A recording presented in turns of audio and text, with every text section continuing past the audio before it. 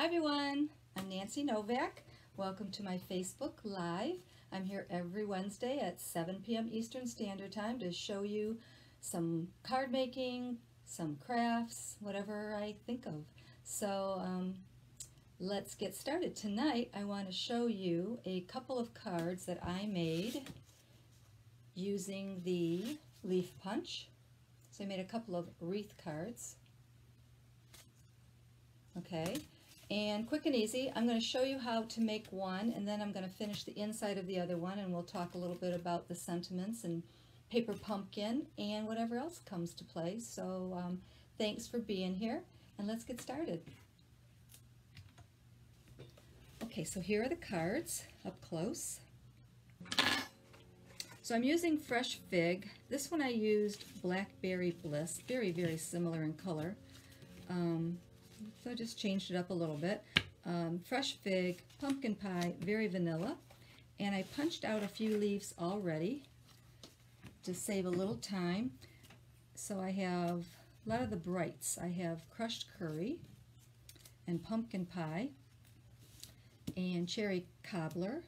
And for those of you who aren't familiar with the punch, I will show you. This is the fresh fig.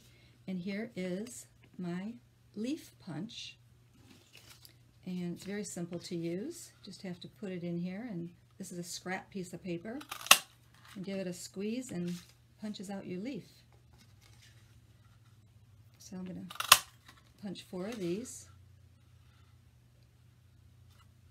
That's why I say always, always save your scraps. And you'd be surprised at how many punches you can get out of a piece of scrap. Okay. So then I took my bone folder and I kind of curled all of these up just a little bit. So you can see there's a little bit of a, a texture to them. And I think I'll do the easy part first. I am going to attach my mat piece to my card base.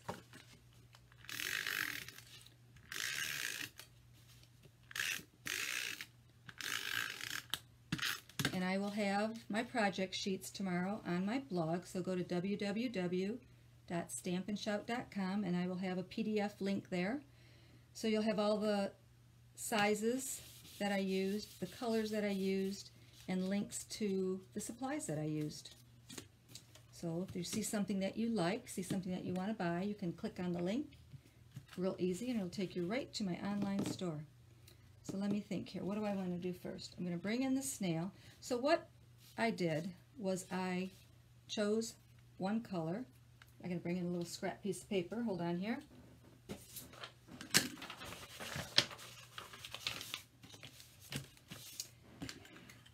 And I just snailed the stem very lightly. This is just to get, get us started. Give us an idea of where we want our wreath placed. I want it in the upper part of my card. So I'm going to put one there. So I'm just placing these down to get my little circle started here.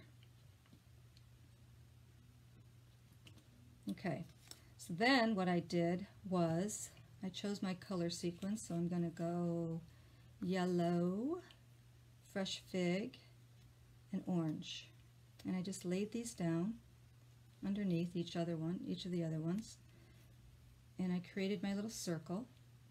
And this is kind of like a bow. You have to play with it and fuss with it, but it's very, very easy.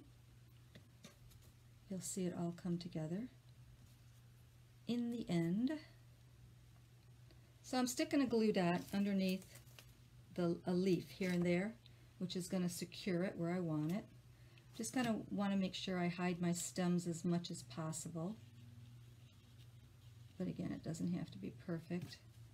So I'm just, once I get it kind of where I want it to be, I am just going to stick a glue dot underneath that leaf to make sure it's secure. Hope I had a glue dot on here.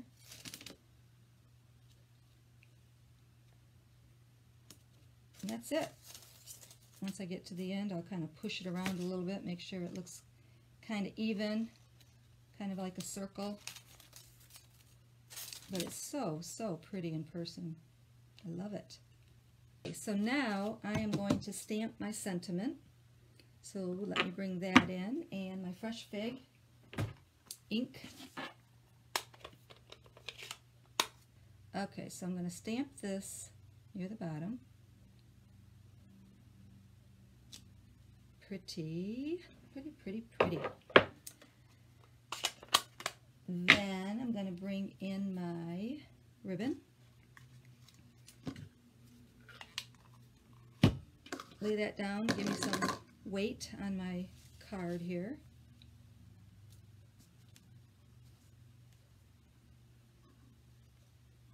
This is my goal, is to be able to tie these bows as quick and fast and I always have to play with them. There's a trick, I know the, I know what it is, but I can never do this do it the same time the same way twice. Must just be the way my mind thinks.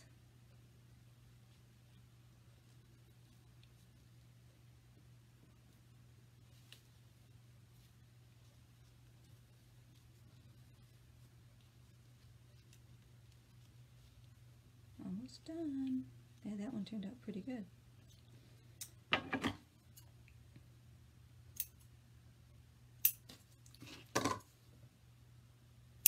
So that's, what is this? This is fresh fig.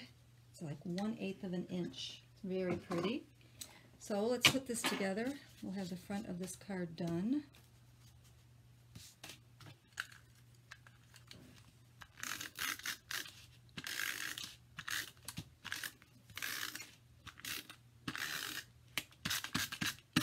So remember, you can rewatch this video over and over again after I finish posting it and I will have the project sheets on my blog tomorrow so you'll know the colors I used and the sizes. Isn't that pretty? I have to interrupt myself. Isn't that gorgeous? Just love it. It's very, very pretty in person.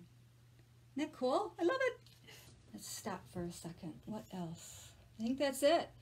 So I hope you enjoyed my Facebook Live. I really appreciate you guys coming here.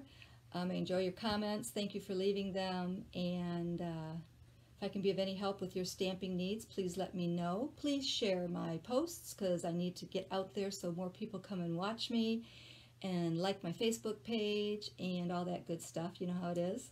And um, that's it till next week. Thanks a lot. See you, time. See you next time. Bye-bye.